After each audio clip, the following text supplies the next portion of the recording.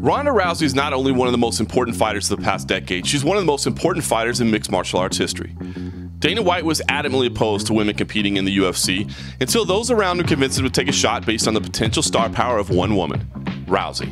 The gamble paid off, and Rousey was an instant media darling. Rousey was awarded a UFC belt by virtue of coming to the organization as the reigning Strikeforce title holder, but she'd have to earn the right to keep it in her Octagon debut, with Liz Carmouche proving anything but a pushover, nearly spoiling Rousey's big moment while cranking away on her face before Rousey rebounded to win in the first round. Rousey's second UFC contest was a classic, with Miesha Tate refusing to tap in bad position after bad position until the pressure was finally just too much. Afterward, Rousey's fiery disposition again came to the forefront, refusing to bury the hatchet with her chief rival. Future contenders didn't fare as well. Sara McMann, Alexis Davis, Cat Zingano, and Bethe Correia all lasted less than half of a round. Combined.